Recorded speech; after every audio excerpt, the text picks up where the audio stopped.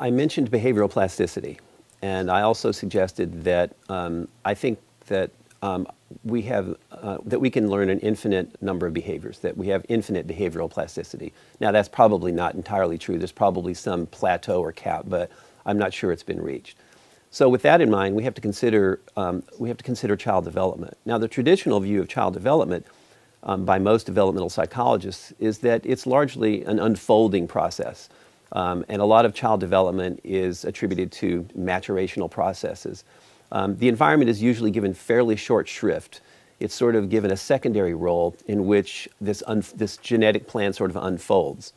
And that's where you get the concept of stages, for example. Parents talk about, and developmental psychologists talk about stages through which children progress.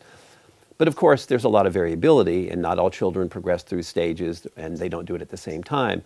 So, with the notion of behavioral um, flexibility or behavioral plasticity in mind, my view and the behavior analytic view is that children are almost um, infinitely malleable.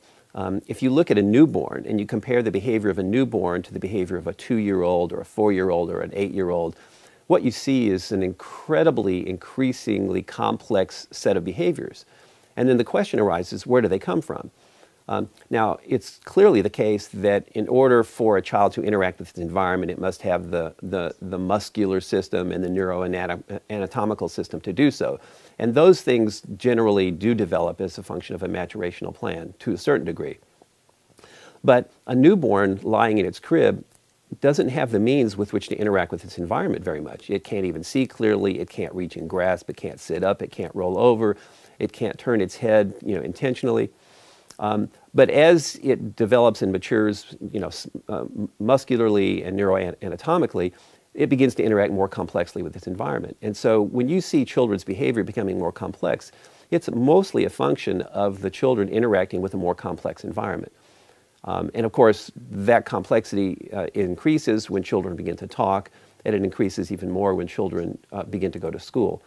So I, so I would argue that, that that it, it's, it's more parsimonious to view child development as an increasingly set of complex interactions between a child's behavior um, and the child's environment, with the causal um, uh, impact being uh, more um, in the environment than, the, than in the child's genes.